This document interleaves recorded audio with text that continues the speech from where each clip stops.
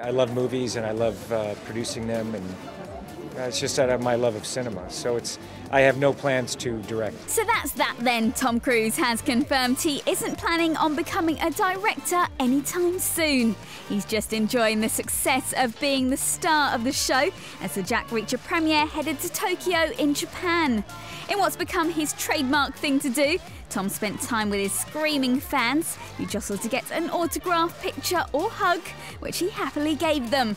And it seems even at the age of 50, he's loving acting more than ever. It's always a learning experience at, at any age, whether you're, you know, whether I was 18 or, you know, you just keep learning uh, and applying the things that I learned about storytelling and cinema.